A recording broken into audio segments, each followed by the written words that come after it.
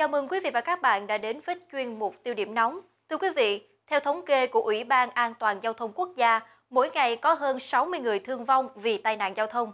Điều đáng buồn là việc người điều khiển phương tiện sử dụng rượu bia rồi gây tai nạn lại chiếm tỷ lệ cao và có xu hướng ngày càng gia tăng. Những cảnh báo xung quanh vấn đề gây nhiều nhức nhối trong xã hội này sẽ là nội dung mà chuyên mục tiêu điểm nóng ngày hôm nay muốn đề cập đến. Mời quý vị cùng quan tâm theo dõi.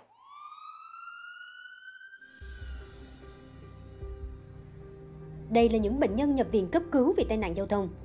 Trong số này có đủ thành phần lứa tuổi, đàn ông có, phụ nữ có, thậm chí cả trẻ em. Tuy nhiên có đến 40% trường hợp cấp cứu do tai nạn giao thông có sử dụng rượu bia. Trong đó có những ca bệnh nhân hôn mê, ngưng thở, đa chấn thương, thậm chí là tử vong. Điều đáng nói là nhiều trường hợp nạn nhân nhập viện trong tình trạng nguy kịch vì đa chấn thương, hơi thở thì nồng nặc mùi rượu bia. Nói chung những trường hợp mà chấn thương mà do tai nạn giao thông đặc biệt có sử dụng cồn vào viện thì đa số trong trường hợp tai nạn rất là nặng, đặc biệt là chấn, chấn thương sọ não hoặc là đa chấn thương kèm theo chân ngực và chấn thương bụng. Và trong, trong vấn đề cấp cứu chúng tôi những trường hợp như thế thường là rất là vất vả, đặc biệt trong vấn đề chẩn đoán cũng như là điều trị cho bệnh nhân.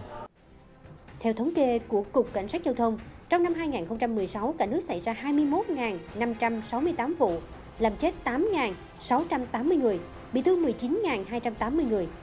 Qua phân tích các vụ tai nạn giao thông đường bộ cho thấy, nguyên nhân chủ yếu xuất phát từ các lỗi vi phạm tai nạn giao thông như đi không đúng làn đường, phần đường quy định, không chấp hành tín hiệu đèn giao thông, chạy quá tốc độ. Tuy nhiên, nguyên nhân do sử dụng rượu bia là chiếm tỷ lệ cao hàng đầu lên tới gần 40% trong tổng số vụ tai nạn. Hàng ngày trên các phương tiện truyền thông đại chúng như báo chí, truyền hình đã liên tục đưa tin về những hậu quả đáng tiếc do rượu bia gây ra. Những vụ ngộ độc rượu dẫn đến chết người, những vụ án mạng, đâm chém do say rượu không kiểm soát được hành vi của mình, thậm chí là giết anh em, bạn bè lẫn người thân. Mặc dù ai ai cũng biết rượu bia là kẻ sát nhân giấu mặt, là nỗi đau của mỗi gia đình, nhưng chẳng ai chịu từ bỏ. Khoan bàn tới những tác động tiêu cực của rượu bia tới sức khỏe, chỉ tính riêng hậu quả do tai nạn giao thông bắt nguồn từ rượu bia đã khiến nhiều người không khỏi giật mình. Theo nghiên cứu của các chuyên gia y tế, rượu bia sẽ ảnh hưởng và gây nguy hiểm cho người sử dụng khi tham gia giao thông tùy vào mức độ. Chỉ với nồng độ 0,5 mg trên một lít khí thở, người sử dụng rượu bia đã bị giảm sút suy nghĩ và bị kích động nhẹ. Nếu nồng độ 0,2 mg trên một lít khí thở, người điều khiển phương tiện tham gia giao thông dễ bị ức chế, dần dữ, đi lại loạn choạng. Nếu ở các mức độ cao hơn, người uống có thể không tự chủ được hành vi cá nhân và có thể tự gây ra tai nạn cho bản thân hoặc là gây thương tích cho những người tham gia giao thông khác. Nhẹ thì chỉ bị thương tích hoặc trầy xước nhẹ, nặng thì bị gãy chân tay, chấn thương sọ não, thậm chí là mất mạng. Điều đáng nói là một khi người sử dụng rượu bia gặp tai nạn giao thông, không chỉ dễ nguy hiểm tới tính mạng hơn mà còn gây nhiều khó khăn cho nhân viên y tế trong quá trình chữa trị. Rượu bia nó là một cái nguyên nhân rất là lớn đưa đến những cái tai nạn lưu thông và kèm theo đó là những những những, những cái dịp Tết này thứ nhất là những cái liên quan ở cơ quan thì cũng gây một cái cái nó là một cái tiếp sức cho cái tai nạn lưu thông rất là nhiều. Những năm gần đây thì bệnh lý nội khoa vào Tết đó, thì sẽ tăng nhiều hơn so với những năm trước. Nhưng thực sự bây giờ vẫn ảnh hưởng nhiều nhất vẫn là tai nạn giao thông do rượu bia là vẫn là ảnh hưởng rất nặng về. Những năm gần đây, tai nạn giao thông ở nước ta giảm dần về số vụ, số người chết và bị thương. Tuy nhiên, tai nạn giao thông liên quan đến rượu bia lại có chiều hướng tăng lên cả ba tiêu chí. Mặc dù những khẩu hiệu tuyên truyền về tác hại của rượu bia có mặt ở khắp mọi nơi, nhưng dường như chẳng có ai bận tâm về nó.